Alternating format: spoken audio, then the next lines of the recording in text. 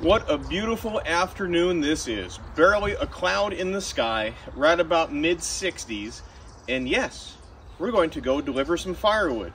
Uh, there's a local fireworks stand in town. He's right along the highway and he's got, I don't know, probably 40 different bins that wrap the whole building and uh, he sells it over there. So um, we're going to use our pallet trailer and everybody always asks me, no, we don't sell these pallet trailers, although I wish I could because we'd probably make a mint on them, but um, they're not readily available anywhere. And I've asked about becoming a dealer for the company, but they really want like thirteen or fourteen thousand dollars for this little trailer, and I just don't see it. We picked this one up used off a marketplace, but um, it's been a huge help around the woodlot with delivering the Halversons and definitely our log lift firewood bags. So um, it'll haul two at a time, and that's what we're after today.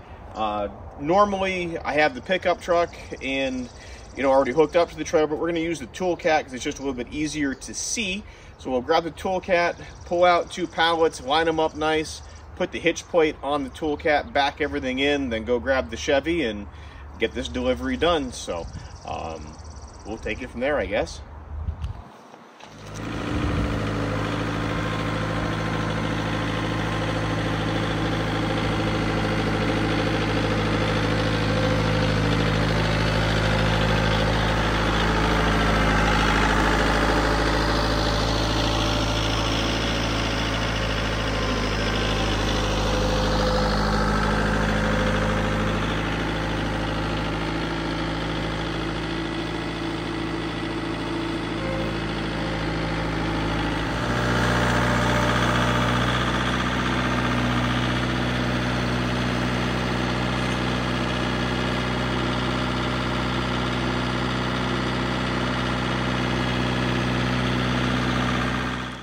All right, so the trick to this whole thing is is getting the pallets about as straight and true as possible because when we go to scoop them up, it just makes life that much easier.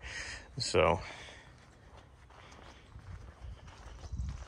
and again, I like using the tool cat for loading purposes because I can see out the windshield and get a good eyeball on the forks for where it's got to go through the pallet because the rear view camera isn't that good yet.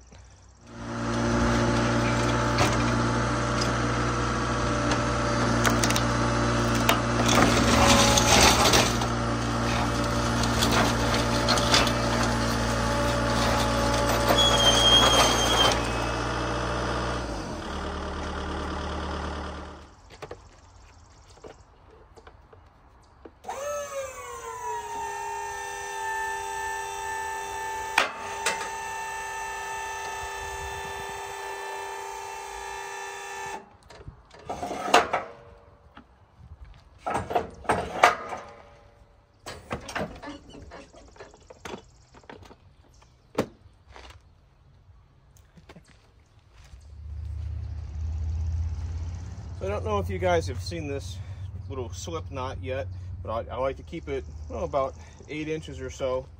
Just roll it up, keep it all nice and tight, and go around behind, leaving a little loop.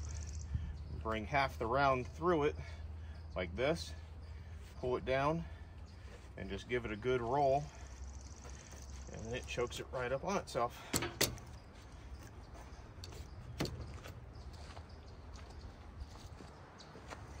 Again, just working with straps a lot. I'll do it again here. Um, I don't know, straps are like a necessary evil. They give you 30 feet when you need three. So just kind of wind things up. I'm just using my, my fingers and just kind of clamping every now and again to keep a nice tight circle around behind. Kind of make that little loop, reach through, pull the excess and try to keep things as tight as possible. Just give it a little roll.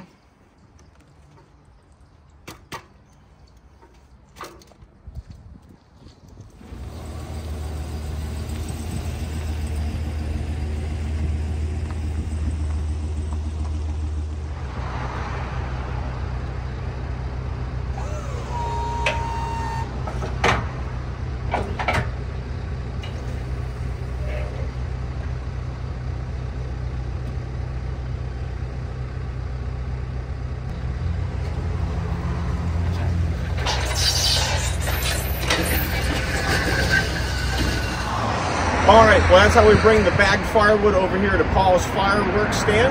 So if you ever have any interest in our log lift firewood bags like what we just dropped off, jump over to the website at shaverequipment.com and then scroll on down. You'll see the firewood bags available for purchase right online with a credit card.